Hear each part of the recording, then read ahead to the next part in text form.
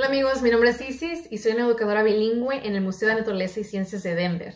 Y ya que estamos practicando el distanciamiento social, hoy voy a mostrarles cómo saber la ciencia desde sus casas. Así que le echaremos un vistazo a todas esas fascinantes reacciones químicas que ocurren cuando hacemos guacamole.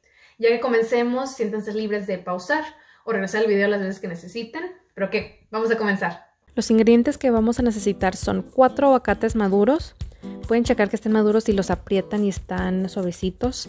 Este sí ya está bastante aguadito, pero de todos modos lo vamos a usar porque no nos gusta desperdiciar comida.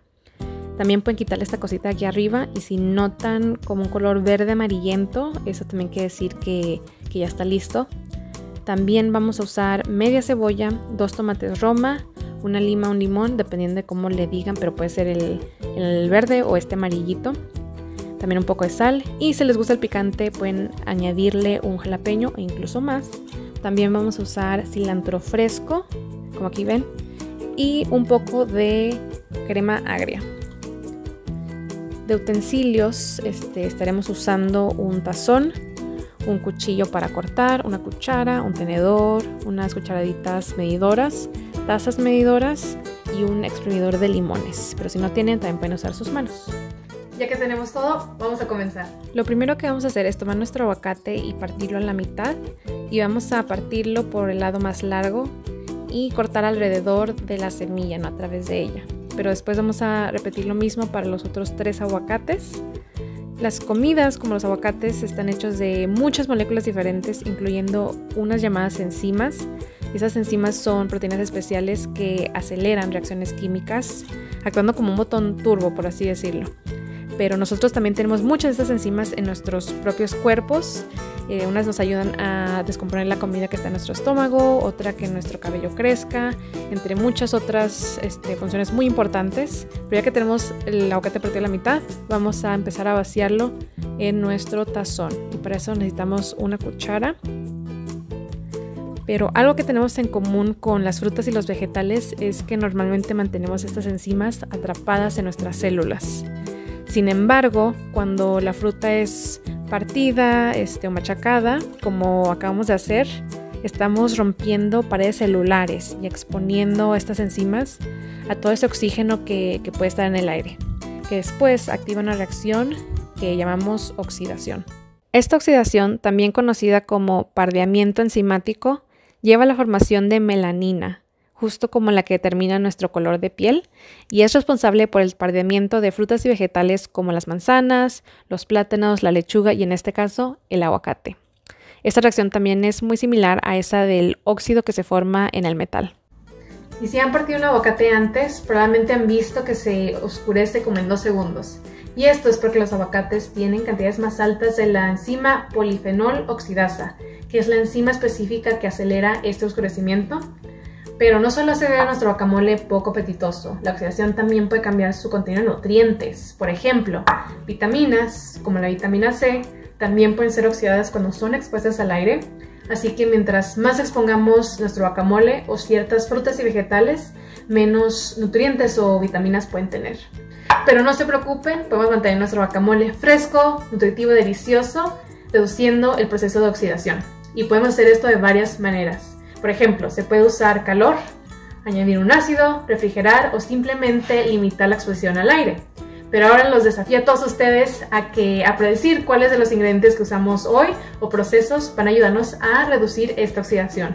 Así que pausen el video y tómense un momento, pero no se tarden mucho porque su guacamole se puede oxidar. Y probablemente lo adivinaron, pero nuestro ingrediente clave es el limón o la lima. Así que vamos a tomar nuestro limón o lima y partirlo a la mitad. Después vamos a exprimir el jugo en nuestro guacamole. Este sí está un poquito más grande, así que lo voy a volver a partir para que sea más fácil de exprimir. Y para el siguiente paso pueden usar sus manos o si tienen uno de estos exprimidores es usualmente más fácil. Pero resulta que los limones tienen ácido ascórbico, que es lo que mantiene nuestro guacamole fresco. Así que los voy a poner un poquito aquí y si les interesa aprender más sobre ácidos pueden ver nuestro video de volcán de limón. Le voy a agregar un poquito más de limón a este guacamole porque me gusta mucho. Pero saben que cuando era niña siempre veía que mi mamá le ponía jugo de limón a todo el guacamole e incluso a la superficie de los aguacates que nos sobraban. y siempre me intrigó esto, así que ahorita le vamos a echar un vistazo a toda esa fascinante química que ocurre detrás de este proceso. Ya que ha añadido el guacamole, el ácido ascórbico o vitamina C en el jugo de limón crea como una barrera entre el oxígeno y la polifenol oxidasa. Y hasta que el jugo de limón se evapore completamente o sea absorbido, el oxígeno va a reaccionar con el ácido ascórbico en el limón, previniendo que nuestro guacamole se oscurezca o se oxide. Pero eso no es todo. El jugo de limón es lo suficientemente ácido para desnaturalizar la polifenol oxidasa y desnaturalizar significa que haga que pierda su forma y deje de funcionar. Y esto es porque esta enzima funciona mejor entre el nivel 5 y el 7 en la escala de pH, mientras el jugo de limón tiene un nivel de 2 que es bastante ácido. Otras barreras que podemos usar son el plástico para cubrir nuestro guacamole, e incluso he visto personas que lo ponen en contenedores y después vacían un poco de, de agua por encima. Y esto es para crear esa barrera entre el oxígeno y la polifenol oxidasa. Además de estos métodos, también se puede refrigerar para mantenerlo fresco y eso es porque las enzimas son menos activas en temperaturas más bajas.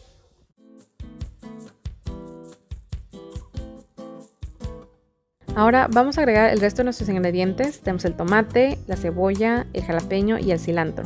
Y pueden partirlos en pedazos tan grandes o tan chicos como deseen, dependiendo de su preferencia.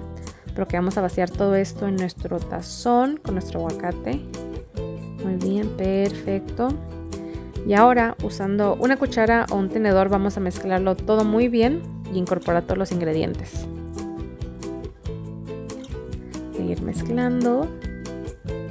Y ya que esté bien mezcladito nuestro guacamole, vamos a añadirle otro ingrediente clave de la receta, que en este caso es la crema agria. Les recuerdo que yo estoy usando menos ingredientes porque es una porción individual, así que por eso se ve tan poquito. Pero que vamos a agregarle esa crema. Perfecto. Y de nuevo vamos a mezclar todo muy bien para incorporarla. Y la crema agria no solo le añade esa textura súper cremosa al guacamole, también contiene ácido láctico que ayuda a retrasar esa oxidación de la que hemos estado hablando. Así que ahora tenemos el jugo de limón y la crema agria actuando en conjunto para mantener nuestro guacamole súper fresco. Y ahí lo tienen, un delicioso guacamole. Y no se olviden de añadir sal al gusto al final. Pero gracias a todos por ver este video y cocinar un poco de ciencia conmigo el día de hoy. Me divertí muchísimo y espero que ustedes también. Pero si les gustaría aprender más o hacer más experimentos, pueden visitar nuestro sitio web dmns.org diagonal learn y el Museo de Naturaleza y Ciencia le encantaría ver sus creaciones, así que no se olviden de etiquetarnos en sus medios sociales usando el hashtag DMNS o mandándonos un tweet a Denver. Pero mantengan la curiosidad, yo me voy a comer este guacamole con unas tostaditas.